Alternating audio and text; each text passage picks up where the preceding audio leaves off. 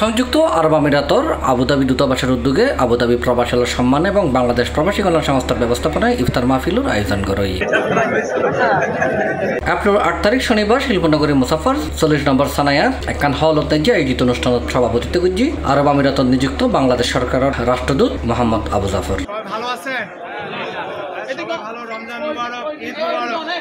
আপনারা যদি ভালো থাকেন আপনাদের পরিবার পরিজন ভালো থাকবে। আর আপনার এবং আপনার পরিবার পরিজন ভালো থাকলে আমাদের বাংলাদেশটিও কিন্তু ভালো থাকবে। অনুষ্ঠান সঞ্চালনা করছে দূতাবাসের লেবার কাউন্সিলর মোহাম্মদ হাজারা সাব্বির হোসেন। অনুষ্ঠানত বিশেষ অতিথি হিসেবে উপস্থিত আছেন দূতাবাসের মিশন উপপ্রধান মোহাম্মদ মিজানুর রহমান বাংলাদেশ প্রবাসী কল্যাণ পরিষদের প্রতিষ্ঠাতা ও সভাপতি ফখরুল ইসলাম খান সিআই।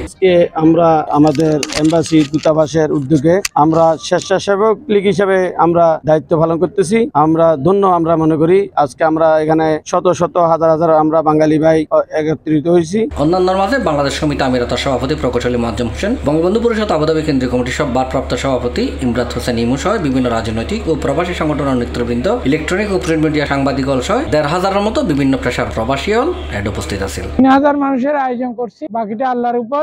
আমি সিআইপি ফখরুল ইসলাম সাহেবকে ধন্যবাদ জানাচ্ছি। যে আঞ্জাম আয়োজন করেছেন ওই আয়োজনের মধ্যে আমরা সহযোগিতা করতে পারছি সমবিত হতে পেরে আমরা আমাদেরকে ধন্য মনে করতেছি। এবং দূতাবাসকে ধন্যবাদ জানাচ্ছি এবং বাংলাদেশ সরকারের পক্ষ থেকে যে প্রতিনিধিরা আছে ওদেরকে ধন্যবাদ জানাচ্ছি ইফতার মাহফিলের এত সুন্দর আয়োজন করার জন্য। শ্রমিক কর্মীরা অত্যন্ত খুশি কারণ লেবার ক্যাম্পের এদিকে তেমন বড় প্রোগ্রাম হয় না আজকে আমাদের।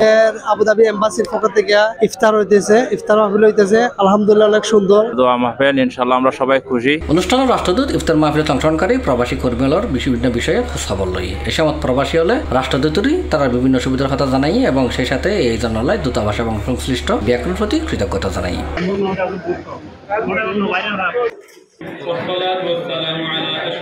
C plus TV Chittagong